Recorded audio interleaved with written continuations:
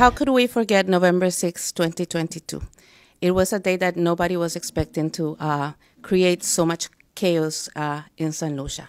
Luckily, the OAS, via its Inter American Aid Fund, was able to respond to San Lucia's request for assistance and in December 2nd, 2022, granted a um, check for 25,000 US dollars.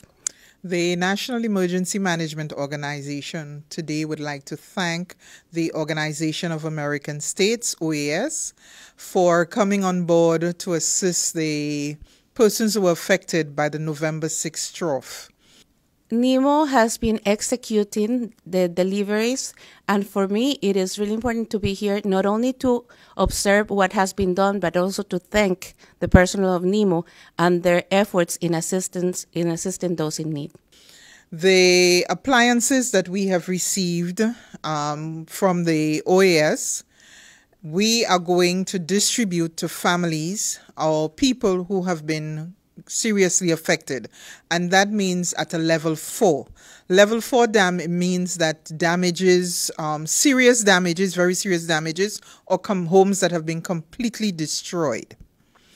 Um, NEMO will be identifying those persons and will be calling them to come to collect. A check is just a check if you cannot see the results and the progress that has been made. So I'm really happy to be here and to observe what has been purchased. And I'm hoping that the next time we meet is going to be when we deliver the 100% of the amount that was granted to St. Lucia to help those people that still are in need and are still suffering the consequences of that day.